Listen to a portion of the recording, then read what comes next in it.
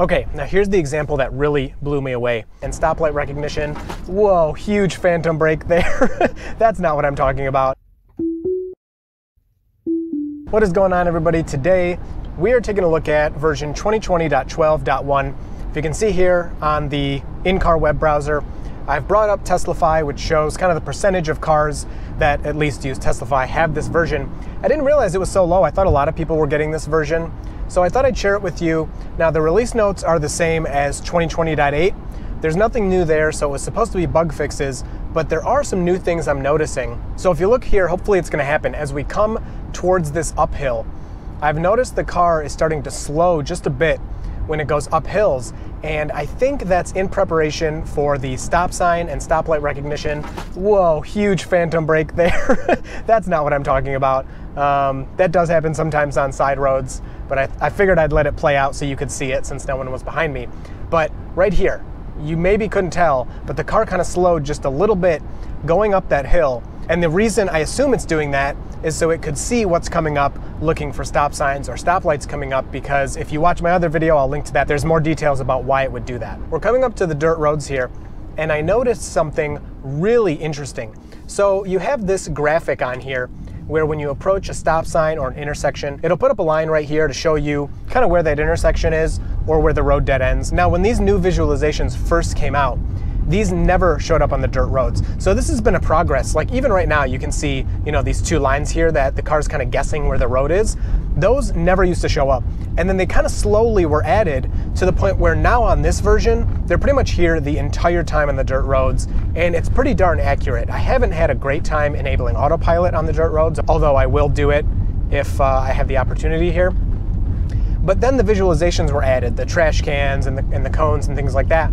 And that line, that line that you would see representing the intersection, was not on dirt roads. Then in the 2020.8 update, I started to notice that line just a little bit more, where sometimes it would show, you know, the end of an intersection on a dirt road, uh, but it wasn't very reliable. Well, now it's like every time. And the coolest thing that's happening now is this first one that we're gonna come up to here.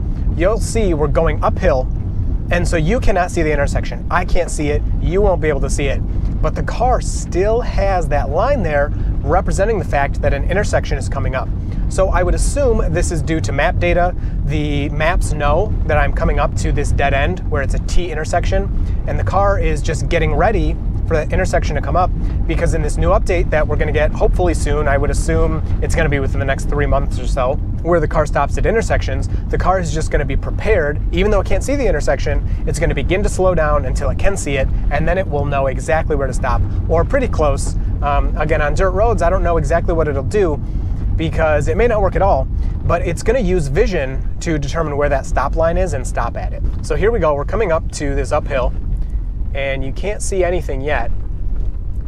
But right here, there's the line. I don't know if you can see it on the camera. So I'm gonna stop right here. There's nobody behind me. I cannot see the intersection yet. I can see the stop sign. I'm sure you can see the stop sign. And the car is displaying the stop sign right here with the intersection.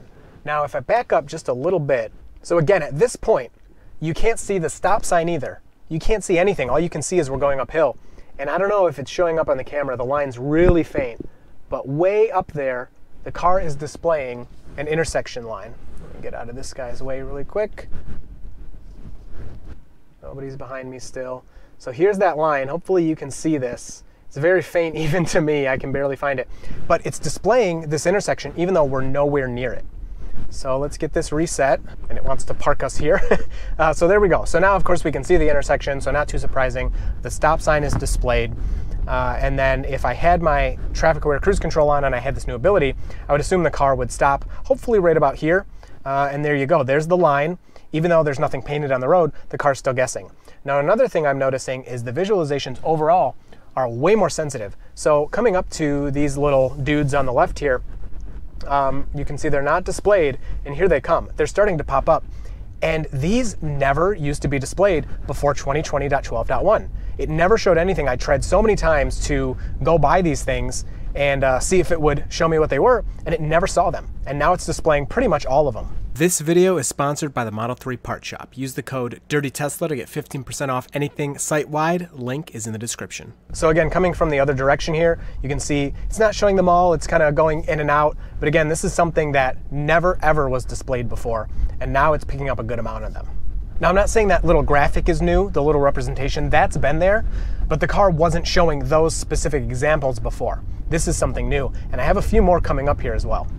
So we can see on this part of the road that the bend in the road is represented pretty well. I'm curious if I turn my wheel. So that's not affecting it. The cameras are seeing that this dirt road curves over to the left, and it's representing that on the screen. Also, cars come in the other direction. The car is getting better and better at this. Okay, so another example here, these two yellow sticks on each side of the road. You can see they're being displayed. It's kind of confused whether it should display a cone or this stick uh, representation here. And these are another thing, again, that wasn't showing up. This graphic is not new, but the fact that it's displaying these uh, warnings on each side of the road, that is new. It didn't use to display that.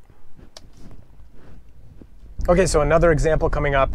Again, on the dirt road, you can see if I stop here, the car has a really accurate representation of where this intersection is. It's straight ahead, it's got the stop sign. Now, part of it may be because of the stop sign, but I do have another example I'll show you in just a minute. No stop sign, and it still is showing this same uh, kind of end of the road line, and it's pretty accurate. So let's see here if I pull up. Seems like it's still far away, but right as you pull up, like this is where, if my ability was enabled, where it stopped at intersections itself, it looks like this is just where it would stop, maybe even a little bit before this, which is right at the stop sign, so really good. Okay, now here's the example that really blew me away. You can see how far away we are from this uh, dead end here, this T intersection. And on the line, I'm hoping this shows up okay for you, or on the map, here's the line. The car knows that's the end of the road and that's where it's gonna stop.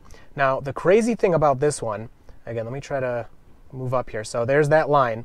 This is where the car would stop if, if I had uh, TACC on and it was driving itself. Theoretically, anyway, that's what it says in the leaked documents about this new ability.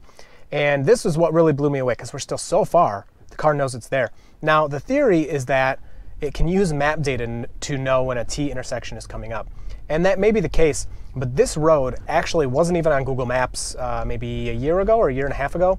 And it's been added since then but um, it's possible that it's not in whatever database that Tesla is using. It's possible, of course, that it is in there.